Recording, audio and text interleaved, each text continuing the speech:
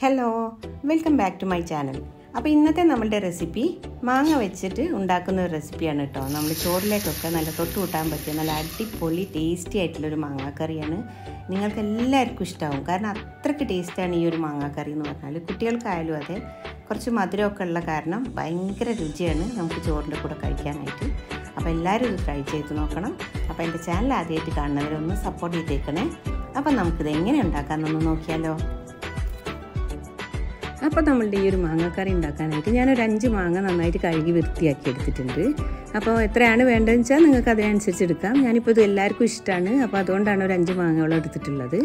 ഇനി ഇതേ നന്നായിട്ട് ഇതിന്റെ തൊലിയൊക്കെ കളഞ്ഞെടുത്തിട്ടുണ്ട് അപ്പോൾ ഈ ഒരു കളറിൽ അതായത് മൂത്ത മാങ്ങ വേണം നമ്മൾ എടുക്കാനായിട്ട്. ചെറിയൊരു മധുരമൊക്കെ ഉണ്ടാവണം മാങ്ങയ്ക്ക്. അപ്പോൾ അതിന് വേണ്ടിയിട്ട് പച്ച മാങ്ങ എടുക്കാതെ നല്ല മൂത്ത മാങ്ങ നോക്കി എടുക്കുക. എന്നാൽ അധികം പഴുത്ത മാങ്ങ ആവരുത് അപ്പോൾ ഇതിനെ നമ്മൾ ചെറുതായിട്ടൊന്ന് കട്ട് ചെയ്തിട്ട് നമുക്കൊരു പാത്രത്തിലേക്ക് അങ്ങ് ഇട്ട് കൊടുക്കാം. ഇതുപോലെ അത്ര വലിയ പീസും അല്ല എന്നാൽ ചെറിയ പീസും അല്ലാതെ ഇതുപോലെ ഒന്ന് കട്ട് ചെയ്തെടുത്തിട്ട് നമ്മൾ പാത്രത്തിലേക്ക് ഇട്ട് കൊടുത്തിട്ടുണ്ട്.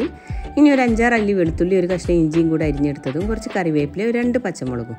അതും കൂടെ നമ്മൾ ഇതിലേക്ക് അങ്ങ് ചേർത്ത് കൊടുക്കുക. ഇനി നമുക്കിതിലേക്ക് ഒരു അര ടീസ്പൂൺ അളവിൽ മഞ്ഞൾപ്പൊടി ചേർത്ത് കൊടുക്കാം.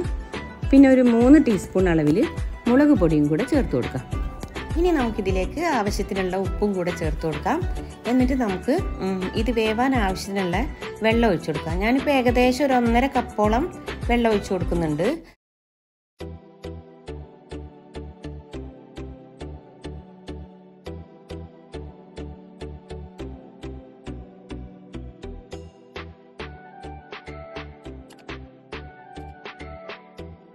ഇനി നമുക്ക് ഇതെല്ലാം കൂടെ നന്നായിട്ടൊന്ന് അങ്ങ് മിക്സ് ചെയ്ത് കൊടുക്കാം. എന്നിട്ട് നമുക്ക് ഫ്ലെയിം ഒന്ന് ഫുള്ളിലാക്കി വെച്ച് കൊടുത്തതിന്റെ ശേഷം ഇതൊന്ന് തിളപ്പിച്ചെടുക്കണം. ഇപ്പോൾ ഇതേ നന്നായിട്ട് തിളച്ച് വന്നിട്ടുണ്ട്. ഇനി ഇതെല്ലാം കൂടെ ഒന്ന് മിക്സ് ചെയ്ത് കൊടുത്തതിന് ശേഷം നമുക്ക് മീഡിയം ഫ്ലെയിമിലോട്ട് മാറ്റി ഒന്ന് അടച്ച് വെച്ച് കൊടുക്കാം. ഒരു രണ്ട് മിനിറ്റോളം ഇതൊന്ന് അടച്ച് വെച്ച് കൊടുക്കാം. അപ്പോഴത്തേക്കും നമ്മുടെ മാങ്ങ പകുതി വെന്ത് വരും കേട്ടോ. ഇപ്പോൾ ഇതേ ഒരു രണ്ട് മിനിറ്റ് ആയിട്ടുണ്ട്. നമ്മുടെ മാങ്ങ പകുതി വേവോളായിട്ടുണ്ട്. അപ്പോൾ ഞാൻ ഇതിലേക്ക് രണ്ട് പീസ് ശർക്കര ചതച്ചെടുത്തിട്ട് അത് ചേർത്ത് കൊടുക്കുന്നുണ്ട്. ഇനി ഈ ശർക്കരയിൽ കിടന്നിട്ട് വേണം നമ്മുടെ മാങ്ങ ഒന്ന് വെന്ത് വരാനായിട്ട്. ഇനി ഇതെല്ലാം കൂടെ ഒന്ന് മിക്സ് ചെയ്ത് കൊടുത്തതിന്റെ ശേഷം നമുക്ക് വീണ്ടും മീഡിയം ഫ്ലെയിമിലിട്ടിട്ട് ഒരു രണ്ട് മിനിറ്റോളം ഒന്ന് അടച്ച് വെച്ച് വേവിച്ചെടുക്കാം. ഇപ്പോൾ അത് ഏകദേശം രണ്ട് മിനിറ്റ് ആയിട്ടുണ്ട്. നമ്മളുടെ മാങ്ങയൊക്കെ നന്നായിട്ട് വെന്തുടഞ്ഞ് വന്നിട്ടുണ്ട്. കുറച്ചും കൂടെ ഒന്ന് ചാറ് നമുക്ക് വറ്റിച്ചെടുക്കണം. അപ്പോൾ ഒന്നും കൂടെ നമുക്കിത് ഇപ്പോൾ ഇനി ഫുൾ ഫ്ലെയിമിലാക്കിയിട്ട് നമുക്കിതൊന്ന് അങ്ങ് ഇളക്കി കൊടുക്കാം. അപ്പോൾ പെട്ടെന്ന് തന്നെ നമുക്കിത് വറ്റി കിട്ടും. ഇതേ നല്ലൊരു സ്മെല്ലൊക്കെ വരുന്നുണ്ട് കേട്ടോ ശർക്കരയും മാങ്ങയൊക്കെ ഉള്ള. അപ്പോൾ ഒരു നല്ല ടേസ്റ്റി ആയിട്ടുള്ളൊരു കറി തന്നെയാണിത്. അപ്പോൾ അതേ ഒന്നും കൂടെ ഒന്ന് നമുക്കിത് വെള്ളം വറ്റിച്ചെടുത്തതിന്റെ ശേഷം നമുക്ക് ഫ്ലെയിം ഓഫ് ചെയ്യാം. അപ്പോൾ അത്യാവശ്യം നമ്മുടെ മാങ്ങ ഒക്കെ ശർക്കരയിൽ കിടന്നിട്ട് ഒന്ന് വെന്തുടഞ്ഞ് വന്നിട്ടുണ്ട്. ഇനി നമുക്ക് ഫ്ലെയിം ഓഫ് ചെയ്യാം. എന്നിട്ട് നമുക്കിതിനെ സെർവ് ചെയ്യാം. അപ്പോൾ അതേ നമ്മളുടെ മാങ്ങാക്കറി ഞാൻ സെർവ് ചെയ്യാണ്. അപ്പോൾ അതേ കണ്ടോ ഇത്രയും ഒരു തിക്നെസ്സിൽ വേണം നമ്മൾ കറി ആക്കിയെടുക്കാനായിട്ട്. എന്നാലാണ് നല്ല ടേസ്റ്റ് ഉണ്ടാവുള്ളൂ. ഇതൊരു ഒഴിച്ചു കറിയൊന്നുമല്ല ഒരു തൊട്ടുകൂട്ടാനാണ്. അപ്പോൾ അങ്ങനെ വേണം നമ്മൾ എടുക്കാനായിട്ട്.